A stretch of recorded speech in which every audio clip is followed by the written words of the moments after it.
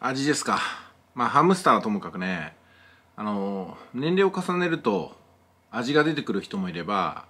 どっちかっていうとそういうのを感じない人もいたりとかするんですよね。まあでも私は結構ね年配の方のその俳優さんとか女優さんにその味を感じる方なんですよ、まあ、もっと言ったら年齢を重ねても俳優や女優やってるってことは多くの人からその味とかをうん。なんか評価を受けてるんでしょうね。で若い時には荒削りだったものも円熟味を増してそして五感の表現とかがもう心の底から出てくるというかね。そのドラマの中で別人を演じることができるというそういう力量も備わってくるのかもしれませんけども、まあ、確かに真面目そうな人がそうじゃない一面を見せることによって味が出てくるのかなと。舘ひろしさんっていうね俳優さんがいらっしゃるんですけどもいろんな役をやってますよね。でその中でも免許がないみたいなね。ドラマも意外な一面が出ていて面白かったしそれからですね「終わった人」っていうドラマが最近あってね。それもなかなか面白かった。定年退職後の男を演じていたわけですけども。それから「ファミリーヤクザと家族」っていうのでは、うん、年老いていくあの任教道こういったものをね演じてくださいました。本当味があるなと思いましたね。でその味を演じることができる人と味を演じることができない人がいる。まさにさまざまな人生なんですけども。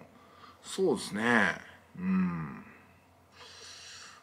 あのそれとはちょっと離れるんですけども動画のコメントにね単純労働って言葉がちょっとキーワードとして入っていたんですよ。で私はどちらかというと単純労働みたいな誰もができるような仕事替えが利くような仕事よりも自分にしかできない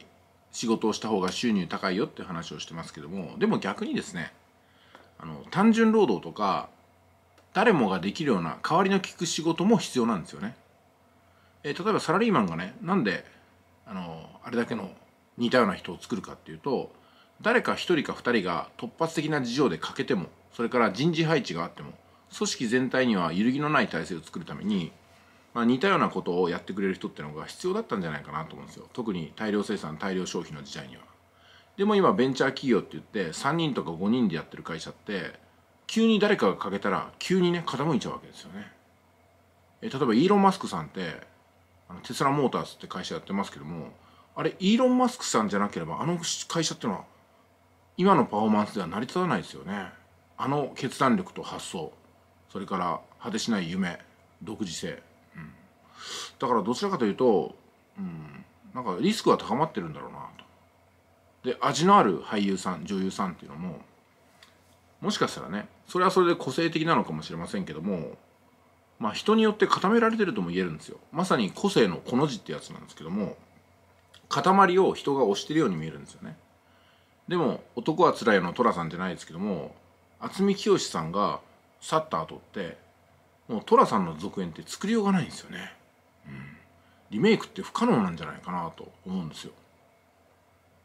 で田中邦衛さんって俳優さんもいらっしゃって「北の国から」っていうの出てましたけども実は「北の国から」ってね最終回が構想されていたんですよね。でも田中邦衛さんはお亡くなりになっちゃった。でも最終回の構想は今でもあってアニメで再現しようかって話にもなってるんですよ、